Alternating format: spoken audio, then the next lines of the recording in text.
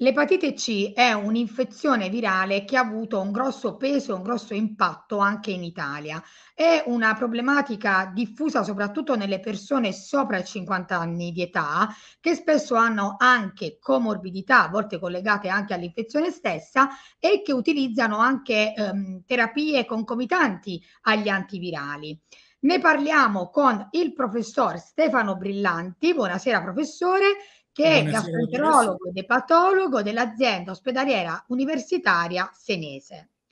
Allora, professore, eh, ho introdotto un po' questo tema degli, degli ultra cinquantenni, ma ci spiega un po' meglio qual è la prevalenza di epatite C di HCV negli over 50 e da cosa è determinata? Ma a livello, a livello nazionale soprattutto in Italia e soprattutto al centro-nord e al centro-sud, il centro in parte un po' più risparmiato, la prevalenza aumenta con l'aumentare delle decadi di età. E quindi al di sopra dei 50, ma a maggior ragione al di sopra dei 60 anni, la prevalenza in Italia la si può stimare dal 2 al 3% della popolazione eh, interessata, e che non è poco sicuramente. Il motivo per cui ci sia un gradiente di eh, positività per anti-HCV con l'aumentare dell'età è direttamente collegato con i fattori di rischio della trasmissione di questa infezione e quindi dobbiamo andare indietro nel tempo e cercare di capire perché questo è successo. Eh, è successo soprattutto diversi anni fa ed è legato all'uso di eh, siringhe non monouso, all'uso di trasfusioni di sangue non screenate prima del 1992 e, eh, e anche ovviamente al, mh, all'epoca eh, dell'uso delle sostanze stupefacenti per via endovenosa che, era particolarmente, che è stato particolarmente diffuso in epoca pre-AIDS e quindi negli anni 70. Se noi mettiamo insieme queste tre variabili più la trasmissione intrafamiliare possibile all'interno di certi cluster, quindi eh, no, siringhe eh, non eh, monouso, eh, trasfusione di sangue, tossicodipendenza per via endovenosa, è chiaro che sono fattori di rischio che si, si confinano in 20, 30, 40, in più di 30 anni fa e quindi giustificano l'aumentata prevalenza che noi riscontriamo nella popolazione over 50. Senta professore, eh, dicevo appunto che in queste persone, questi over 50, si manifestano anche delle altre eh, patologie concomitanti eh, e che dipendono, sono collegate all'epatite C. Quali sono le principali? Allora, eh, l'infezione da HCV, l'epatite C, noi la consideriamo sempre e solo ed esclusivamente una malattia epatica, quindi una malattia che interessa il fegato, e ci interessa giustamente il suo sviluppo in un'ottica di eh, eh, cirrosi, epatocarcinoma, scompenso. In realtà l'infezione da HCV è qualcosa di estremamente più sistemico, eh, tant'è vero che eh, eh, l'infezione cronica, indipendentemente dallo stadio della malattia epatica, è a sua volta fattore di rischio di comorbidità HCV relate,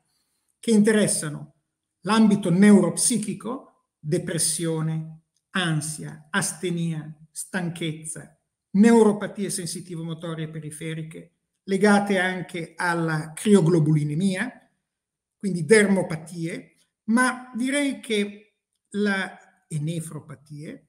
mm, crioglobuline negate, ma direi che l'aspetto che più interessante che è emerso negli ultimi anni è che l'infezione da HCV rappresenta un fattore di rischio per lo sviluppo del diabete, e per lo sviluppo delle malattie cardiovascolari. Quindi eh, eh, curare l'epatite C, o meglio, curare l'infezione del, da HCV, non è solo un'opera di prevenzione dello sviluppo della malattia epatica, ma è anche un possibile mezzo e strumento di prevenzione delle complicanze legate all'infezione da HCV, tra cui diabete e malattie cardiovascolari. E non dimentichiamo che il boom del Covid ci ha fatto un po' dimenticare tante altre patologie, tra cui appunto l'epatite C, ma in Italia esistono ancora almeno 250.000 forse pazienti che non sono ancora stati trattati. E 250.000 pazienti, in gran parte over 50 o al di sopra di 50 anni,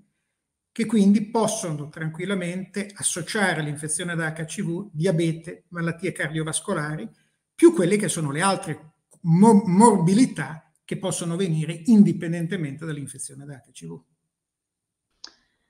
Professore, se dovesse descriverci questo paziente, quindi HCV eh, over 50, comor- comorbidità, quali sono le caratteristiche principali da mettere in luce e quali anche le criticità che dovete affrontare?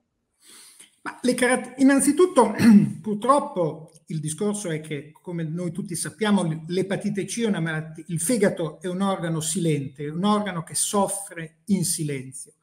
Quindi esiste un, un problema di eh, stadiare la malattia, stadiare la malattia epatica, ma soprattutto considerare il paziente nel suo insieme, quindi nella sua globalità, quindi fare un'anamnesi corretta, un'anamnesi patologica remota, un'anamnesi patologica prossima e soprattutto valutare le altre patologie che lui ha concomitanti, HCV relate o meno, e i farmaci che questo paziente assume. Spesso sono pazienti in politerapia,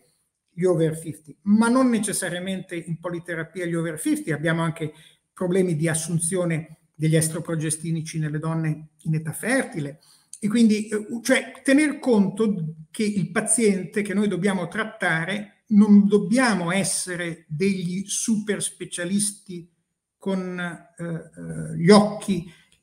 solamente orientati verso il problema fegato, ma considerare che la malattia da epatite C è una malattia sistemica e quando noi la trattiamo dobbiamo tener conto delle comorbidità, ma anche delle politerapie che questi pazienti assumono. Questi, diciamo, sono i challenge maggiori che noi oggi abbiamo. Ovviamente insieme ad una diagnosi corretta da un punto di vista patologico, una buona stadiazione dell'epatite, una buona genotipizzazione del virus per essere pronti a poter intervenire nel modo migliore.